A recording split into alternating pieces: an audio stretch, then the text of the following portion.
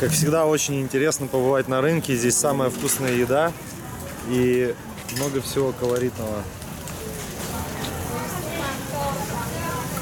Целая свинюшка, фрукты,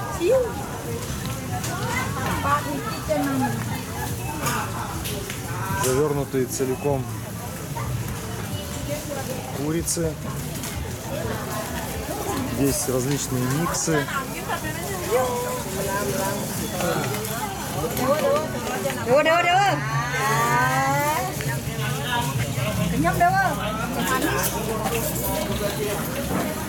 Этот рынок находится в нетуристическом месте а, по дороге с Паданга.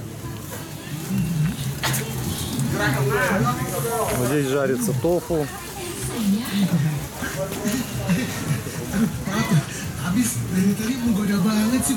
Ну и, собственно говоря, рынок продляется дальше.